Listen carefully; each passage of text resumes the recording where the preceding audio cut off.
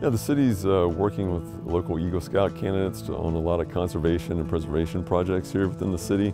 And it, one of the examples is behind me. It's a chimney swift bird tower, tower that was just completed by one of the Eagle Scouts here lately.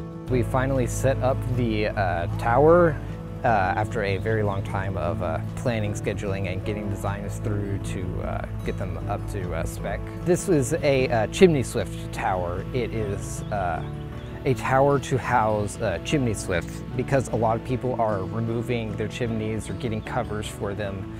The birds are losing their habitats.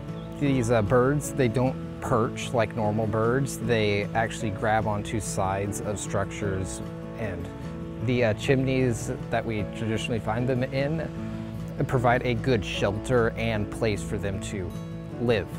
It is important to me for this because uh, actually having the chimney swifts, they promote more biodiversity and they allow just more birds to be in the skies, more people can see them.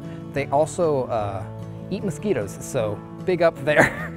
Yeah, if there's anyone out there who uh, is an Eagle Scout candidate who's interested in uh, doing a project for the city, uh, we'd be glad to hear from you. You can just contact me. I'm John Orsag with the City uh, Parks Department and Communications, and uh, you can contact me at john.orsag at leaguecitytx.gov.